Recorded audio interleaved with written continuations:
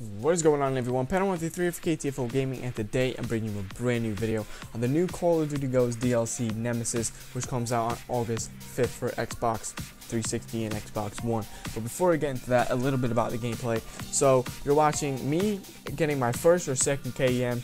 Yesterday I hopped on Ghost and I just wanted to get a KEM. I haven't got one before. I haven't really played a lot of public matches on Ghost so this is kind of like my first time trying to get a KEM. I got two within an hour or so, and I'd only recorded one on accident. I don't really know where my first or second one went, but at least I got one, so I hope you enjoy the gameplay, guys. Let's get right into the video. So, Nemesis has four multiplayer maps and one extinction map. Let's get to the multiplayer first just to get it out of the way. So Gold Rush is set in an abandoned gold mine in the southwest United States. It's the caves and stuff. It's got card, two cards going around, and they can kill you. It's got elevators in the map, and it's a long range, medium to long range map. So that's really not my taste, but it could be yours. Probably snipers, AR, LMGs, that type of map.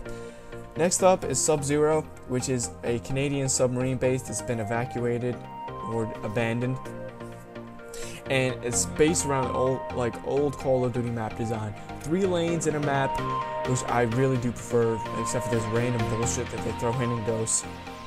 Three lanes, so it's like medium to short range gunfights, and hopefully it's a good map. And that the kill streak in this map is it's weird. It's like a blizzard that follows you around.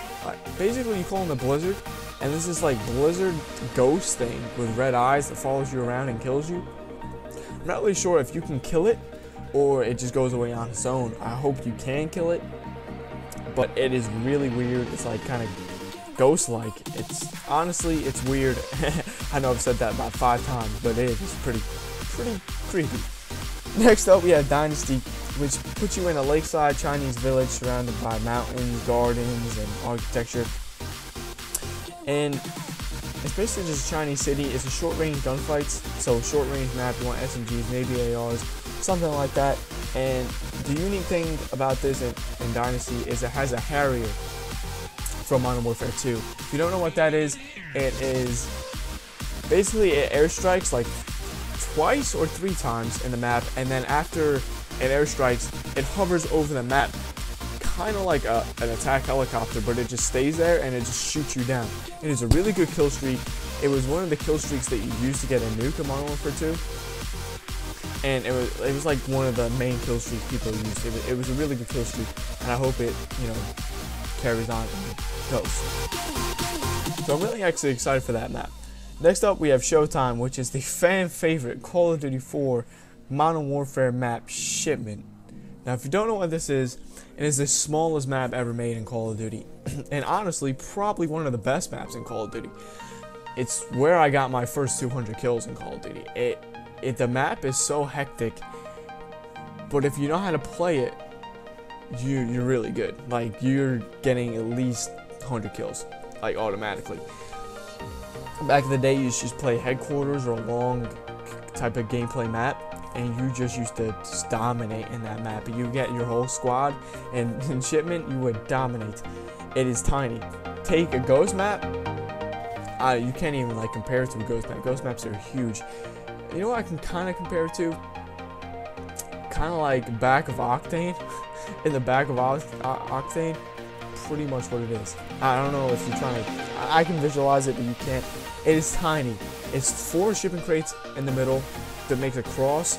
Two other, no, four shipping crates on either side. Well, two shipping crates on either side of them, and then one up above and one down below. It is an insane map. In the score streaks or field orders for this map, there's three. Hope it doesn't ruin the map. I'm praying it does not ruin the map. It might. I'm hoping it doesn't.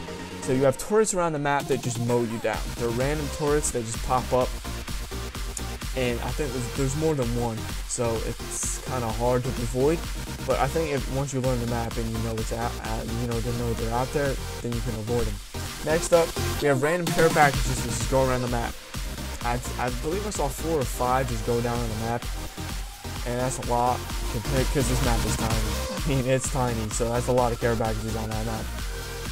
And next up, there's just a deadly gas that goes in the middle. I'm guessing near the four containers, and it probably just surrounds that area. I'm really excited for this map. I really hope they didn't screw with it, like they did with Scrapyard with that underground tunnel. I really just hope they kept the shipment, the shipment gameplay the way it was. It is an amazing map. If you haven't played it, you have got to try Shipment. It is the best map ever made in Call of Duty. In my opinion, I wanted this for years, but sadly they put it in the worst Call of Duty made at this point. but next up we have Extinction. So, episode 4 Exodus. Basically, what you're trying to do is you need to get people onto a ship, like a spaceship that goes on Earth's orbit, and you could pick which path you want to choose, which is the thing you can only do. This is like the first extinction map you can do. So you pick your path, and your main goal is to get VIPs into this shuttle that can, you know, launch and go in the atmosphere. That is all for Nemesis, guys. Advanced Warfare information is coming up tomorrow, so I really hope you enjoy this video, guys. I hope you enjoy the next video. I'll see you for the next video, and I'll see you guys later. Peace.